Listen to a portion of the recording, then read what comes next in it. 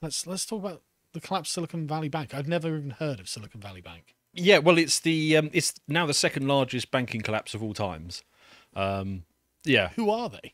well, they they were a big um, Silicon Valley regional bank. Right. So basically, in America, you've got the big four, uh, the the globally systemic important banks uh, that they, they that can't be allowed to fail, and then you've got a whole load of regional banks, Right.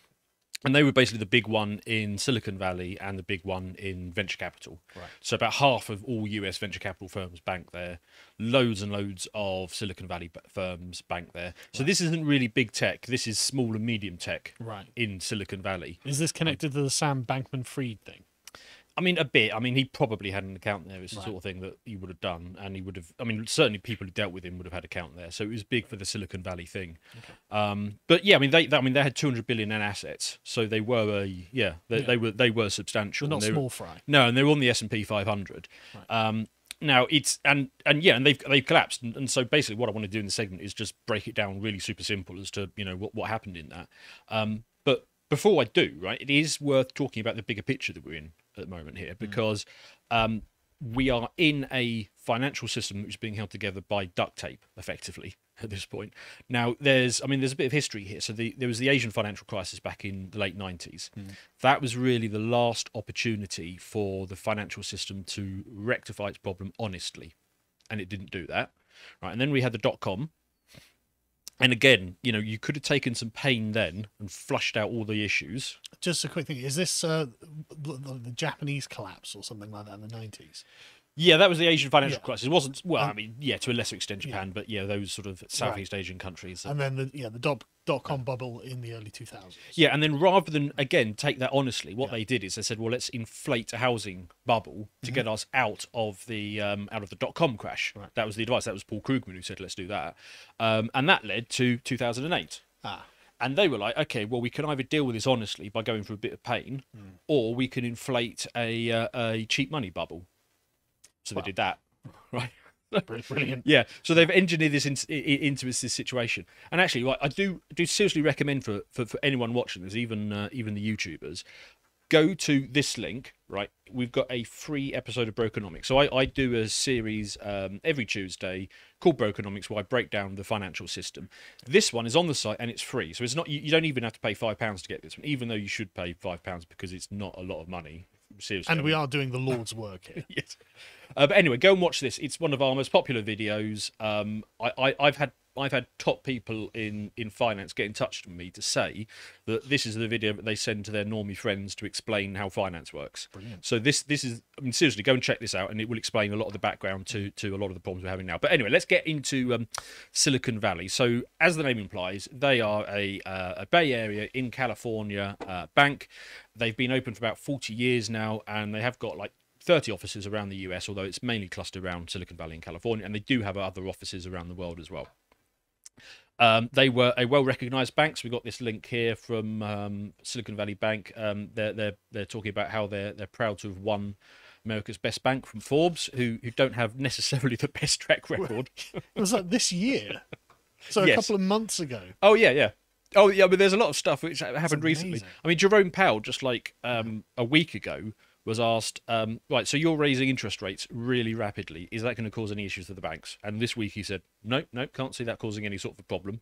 And then literally a week later, well, one of Yeah. America's best banks has just collapsed. Yeah, and and like I say, it was used by a lot of um, Silicon Valley firms. So um, Roku, they had half a billion uh, dollars on there.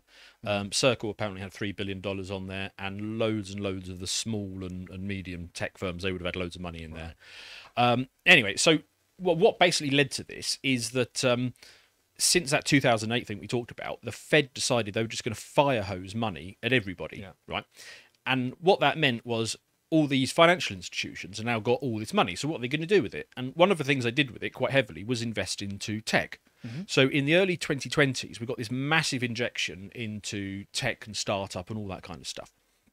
And because they were the main bank in this area, uh, they saw their deposits rise quite substantially. So I think at the beginning of 2020, they had something like 60 billion in assets. And in the space of about a year and a bit, they went from 60 to 200 Okay. billion under assets, right? Okay. So I'm big, starting to understand yeah. why Forbes were like, well, hey, this is looking optimistic. yeah, yeah. And um, when you're a bank, if you're getting all these extra deposits in, you need to you need to do something with them on the other side of your balance sheet. You need to go and invest them in something. But because we were in a bubble of cheap money, there wasn't really any good option to put their stuff into. So here's the really simple explanation of what happened. Their amount of deposits went up, and the only thing they could invest it in were um, US Treasury notes that weren't yielding very much at all. So they go out and they buy a whole bunch of um, 10 year, and they had to buy the 10 year because it was the only thing that had even a little bit of yield on it. Right. So they buy these 10 year deposits, right? And um, and they've basically got a now balance sheet that, that balances. They've got deposits on one side and they've got all these investments on the other side. So, I mean, that's how a bank is supposed to run. It, I mean, it, it sort of works, right? Then, um, because all this money had been injected into the system, you then start getting all this inflation. And the Biden regime is like screaming at the Fed, get this inflation under control. Now they they were the ones who made sure that this money got injected in the first place. They're the one who did the stimmy checks. They're the one who did all of the What are their options to control inflation if they've just pumped out all this free money that will obviously increase? Well, I mean, this is the thing. So, the, I mean, the the inflate. They do this bait and switch, right? So, inflation is when they create a whole load more money, yeah, and then the price rises are the downstream effect of that. yeah, But what they do is they pretend that the downstream effects of the prices going up is the inflation, and they try and stop that. But it's not. The the the, Yeah. the price is going up. It's just the consequence of having printed all this money. yeah, because it's too much money Yeah. competing for too few products. So having printed all this money, I mean, you can't stop the inflation because you've Yeah. already printed the money. Yeah. So you can put interest rates up to any number you like. It's not going to undo all that money printing that you've already. I mean, you would done. have you would have to somehow take it back from the people you gave it to. right? Yeah, I mean, they kind of do that through quantitative tightening, but Right. it's it's never going to be that much. I mean, it's basically the cat's out of the bag at this point. I So- imagine people are rather resentful about that as well. Yeah, I well, I mean, it's, it's going to get worse before it gets worse. So there is that as well. So anyway, so they, so they bought all these treasury notes, and they it yield, worse yeah, before it they gets yield- worse. yeah. Oh god, it's just worse all the way. Sorry, go on. So, so they got all these treasury notes and they're yielding all this low amount. And then because the, the, the Biden regime is screaming at them, get inflation under control, Yeah. even though they can't they can't stop the money printing that's already been done. What they can do is basically strangle the economy. Oh, brilliant. Because if you because if you lose your job, you can't go out and buy stuff, and therefore you can't you can't manifest the price rises that they're they're, they're worried about. That makes it look bad. Right. So they put the interest rates up. Right. So that means that instead of being able to buy like 10 year um, notes at like half a percent or whatever, you can now buy two year notes at like four and a half, five percent. Right. So, so basically, I, I don't know if this works on camera, but basically, they bought a shed load of these, right? And then you can buy these. Now, Carl, which of the two would you want to own? Well, now, so I'm I'm no financial expert, but this seems that I'm going to get 4.5 percent back. Yeah. Over two years. Yeah. Or 0.5 percent back over ten years. Yeah. So you want this one, don't you? Well, I mean, uh, as a financial illiterate, that's what I'd go for. yeah, Yeah. exactly. So, so basically, they had they they had loads of these. They, they uh, oh, billions of them. Well, I can't remember how many they had, but it's like, like at least twenty billion of these, right? And then these come along. So the value of these Yeah. drops, right? Slightly less demand. Because you because you're going to want these instead of these, right?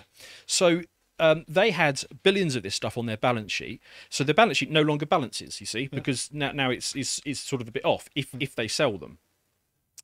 And on top of that, um, the the guys in Silicon Valley, because this this tech bubble is sort of dissipating now, they're not getting the follow-on rounds.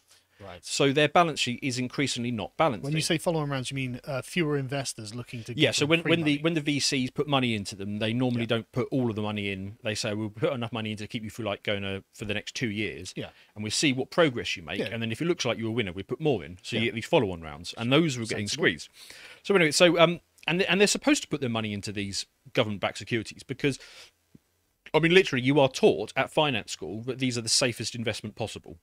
Right? I've done finance exams where the correct answer is these are the safest possible investments. Well, I mean, they're backed by governments, right? So Yeah. theoretically, they're going nowhere. Well, so they will never default because they can they can basically just print the dollars Yeah. to pay off your loan, but by printing those dollars, the value of those dollars goes down and down Yeah. and down. So it's, it's like that. And also, um, the regulators. So there's like this thing called Basel Three, where they made them effectively buy this stuff. So this bank, I mean, did they do anything wrong? I mean, yeah, they did some things wrong, definitely, Hmm. but they were pretty much doing what they were supposed to do. Were they put in an impossible position, is what you're saying? Yeah, kind of. They they could have managed this situation better, but the situation we were in was the regulatory framework. It was the regime that was set up. It was what the Biden regime did. It was, I mean, all of these things. It, Yeah, yeah. you- basically, what I'm saying is there's going to be more of this. Is kind of what I'm leading to. So anyway, so then you've got um, so they so they start to realise this, and um, so a couple of things happen. I mean, first of all, the the guys who work in the bank they they realise they got a problem. So the chief financial officer a couple of weeks ago he sells like thirty percent of his shares. Smart. Um, the CEO he sells like ten percent of his shares because he probably realizes he can't get away with selling too many. But he's like he's, he's thinking to himself, obviously, like, what's the most amount of shares that I can sell? How, how does it look if the guy who owns the bank dumps all of his Yeah, shares yeah. in the bank? Not And- great. And and he realizes he's got to get his balance sheet um, looking better because I mean it's still actually at this point it's still fine. The um the, the the the good side of the balance sheet is still higher than the uh, the, the liability side, so it's it's fine actually, but. You can see a problem is starting to manifest. Yeah, the wind is blowing in the Yeah. wrong direction. So so he decides I'm going to take um I'm going to take like 20 billion of these that aren't so good and put them into these things, right? Now, when you translate because this is now down here, in order to get that into there, you need to take a bit of a loss. So he sold 20 billion of 20 billion of these, right? And to put them into here, and in doing so by selling that 20 billion, he took a 2 billion loss on it Yeah. but he was going to recycle it into the new thing. And then he was going to make up the money by doing a bit of an equity raise, by going out to the market and saying, you know, buy more shares in our bank, and you know that that will top us up and that will balance it out, right? So then, um, the financial analysts who's and the hedge funds whose job it is to look at this stuff notice that he's doing a raise, and they think, oh, okay, let's dig. Let's have a proper look at this and let's see what's going on, right? Right. And then they start to see, oh, hang on a minute, there could be a problem here. So what happens then is is the financial analyst they start telling because I mean let- let's say he's a financial analyst for like I don't know uh, Morgan Stanley or something. He's then going to do a flash note around to all his fund managers saying if you hold any of this stock, consider reducing it or sell it outright or something. The hedge funds are looking at this and thinking that's a good stock to short. So the the share price starts to tumble right. because there could be a problem, and it's better to be safe than sorry. Yes. Right.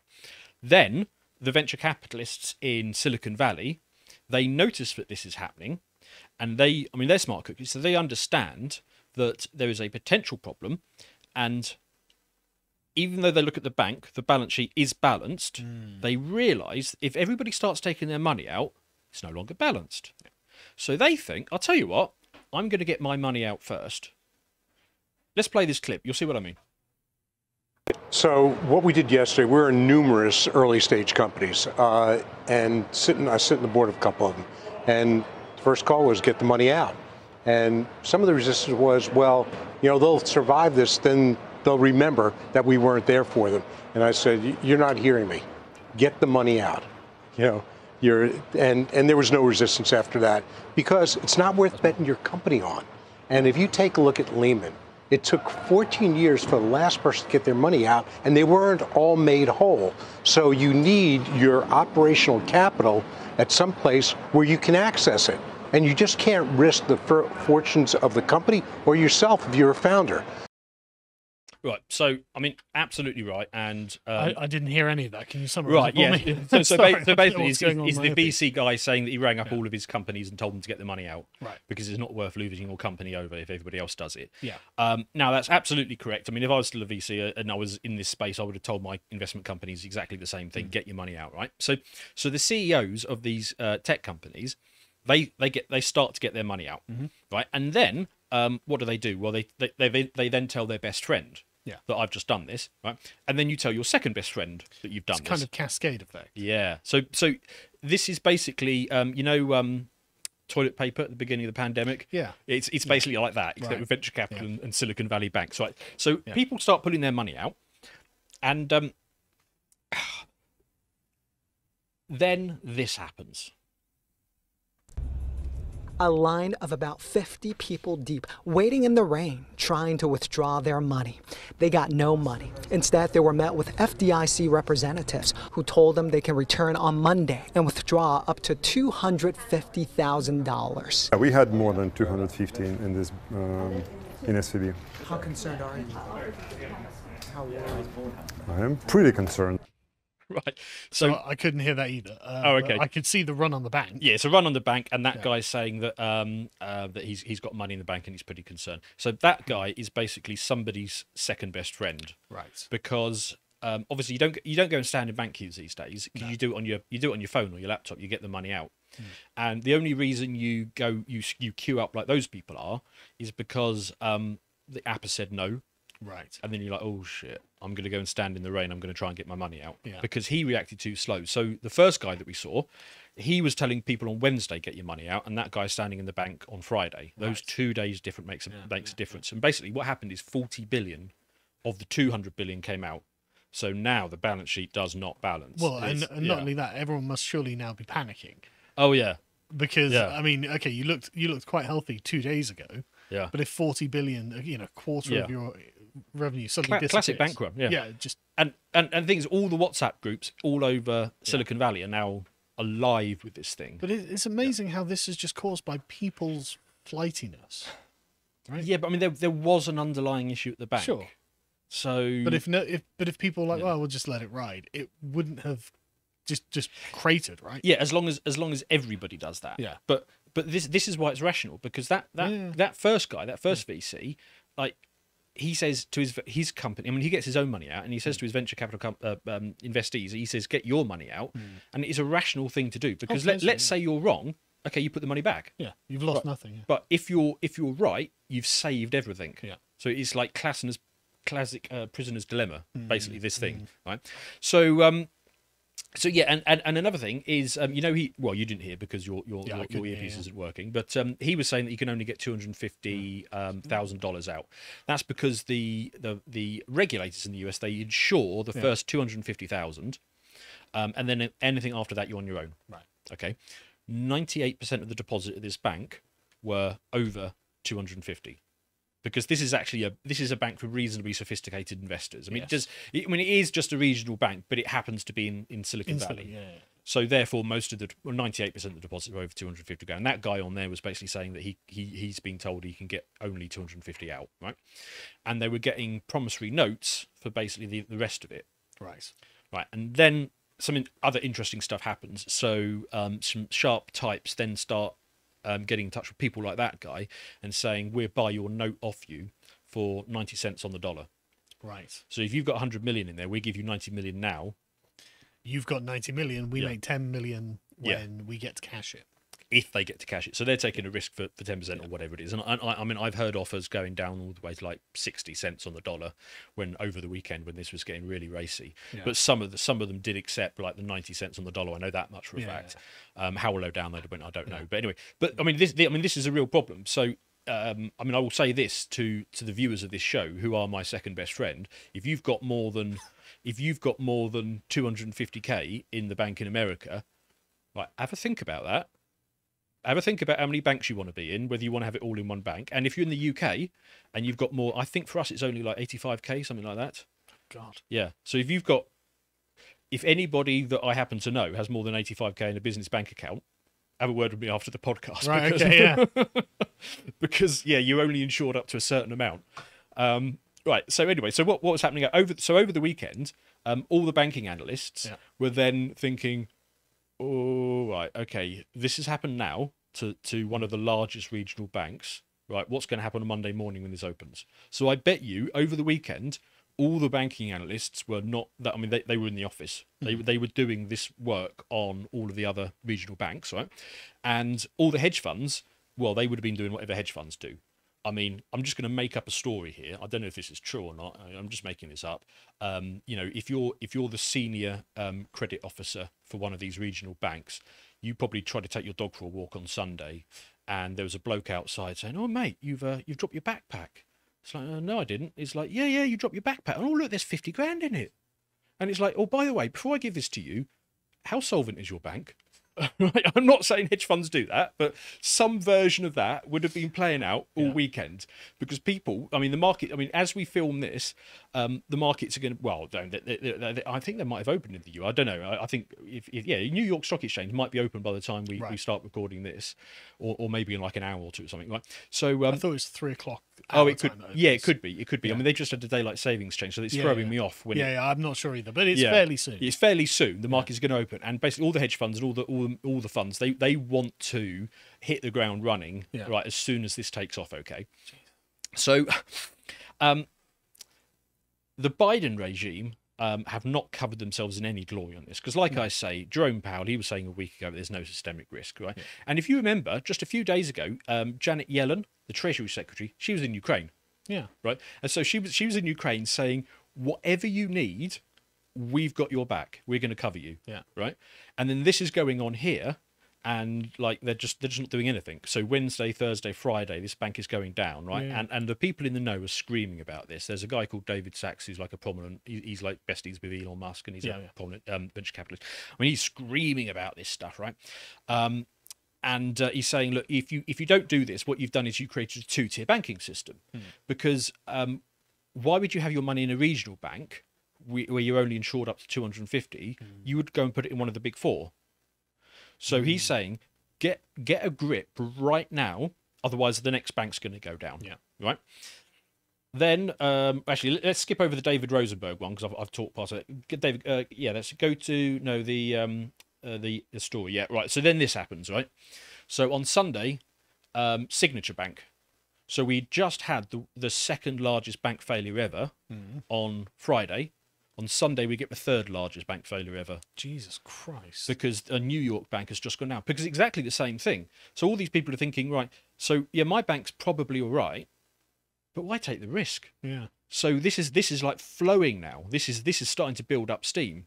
So that bank goes down.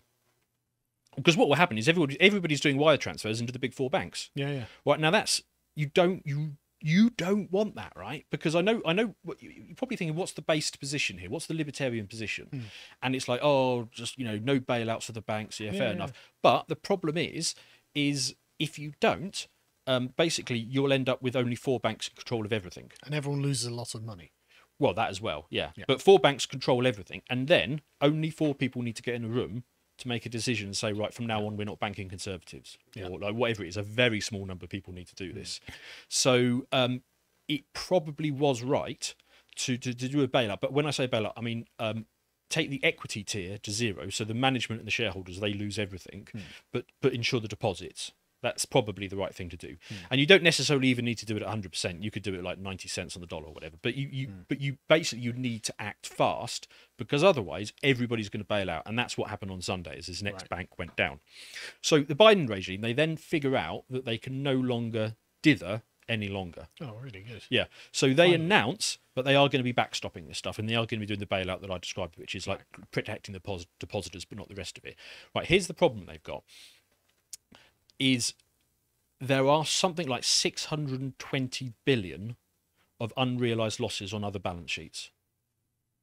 So this one, this this bank, the, the Silicon Valley one, they had they had 20 billion of unrealized losses. But Yeah. uh, if you add up all the other banks, it's 620. Right. So it's like half of what we're sending to Ukraine. Right. Yeah, well, it's, it's a lot of money. Yeah. and um, so so now, so not only did they have to say, okay, well, we're backstopping this and backstopping the the New York bank, hmm. but we're also going to open up a line of credit so these banks can sell us their underwater assets back at par, Yeah.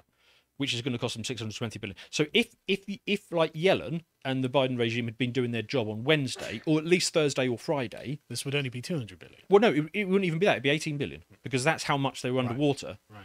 But because they dithered, it went from 18 to like 620. And to be fair, if they'd left it any longer, it would cost even more. Yeah. But you know that that's the sort of situation. But this in- should have been day one. yeah, it should. It, well, it should have been day one. So, um, I mean, there's a, there's a good film that I like. I'm gonna I'm gonna shout out a film recommendation. It's um it's Margin Call. So that is like the finance people's like favorite film about finance because what it, what it is, it, it happens in a bank over the space of basically one night where they realise they've got a problem. And they, they work through the problem over the night, and then they, they have to act fast. They have to they because it in in finance it's all about how fast you are. Like, if you're one trading day faster than the next guy, you make like ninety percent of the money. Hmm. Now, I'm not expecting the Biden regime to be that fast, but I mean, come on, they had like three days. It was, it was quite obvious. I mean, it's bloody obvious to me, and I'm not even I'm not even Yeah. active in this. I'm I, just I'm sure they've Twitter. got incredibly experienced people who are looking at this and saying, "Well, this is what's happening." the, the problem is the banks employ um, smart people who are who are doers, and the regulators employ smart people with PhDs who do computer models. Right. So they would have been spinning up their computer models and doing their academic type stuff, but it's it's a different kind of thinking. It's too slow, right? Right. Um, so, you know, what's what's the fallout from this? I mean, should you be worried? It's like, well, technically no, because you're backstopped. But the problem is, is the whole world has just woken up to the fact that banks are like vulnerable, that you don't want to have more than 250 or 85 if you're in the UK in any one particular bank. You want to spread it around. Um, they've understood that there is sort of this systematic risk that could happen at any time. Um, and I understand that as we as we started filming this at, at one UK time, I think I think it's eight um, Eastern time that this goes out. That's um, when, or is it nine? Anyway, anyway, Biden is speaking as as we're talking now. So he's he's currently laying out his response to this. Now there is a link that I sent John on. Don't call it up yet, John. But I, there's a link I sent John on Friday because there is a way of monitoring this. So there is an ETF that tracks um, the those regional banks and it tracks the it tracks the equity tier. So this is the bit that is going to get wiped out if this response isn't good enough. So this ETF is going to go to zero if if there's like a, a complete collapse of the regional banks. Now it was already down five percent on Friday, so we we will call up in screen in just a second and we'll see whether the markets believe Biden or not because it was already down five percent on Friday. If pe- if people believe Biden, then it's free money. You know, it should be up. It will be green, and if it's down by anything more than like one or two percent, then basically markets are saying Biden, you're full of shit. You this is a bigger problem than you're admitting. So so let's. Do you want to call it up, John? Let's see where we are. Uh, so minus Down down six percent. Yeah, that's not good. Yeah. Yeah. So so markets are. I mean, he's talking, and the markets are saying, "Yeah, um, don't believe you." I mean, I it, it, I suppose it could be worse. So he's he's he's obviously he's obviously throwing money at it. Yeah. Um, but all the same, they don't believe him. So yeah, that's a worry. Keep an eye on that, and if that if that continues to go down, then um, we've got a bigger problem, and this is this is all we'll be talking about. But you know, maybe whatever amount of money he's throwing at it will do it. Let's hope for the best, eh? If you appreciated that segment from the podcast of The Lotus Eaters, you can go to lotuseaters.com to get access to all the premium content that's on the site, such as the Epoch series, this episode on William Wilberforce. If you'd like to find out what else is being put out, you can follow on GETTR at lotuseaters underscore com on GETTR. Thank you and goodbye.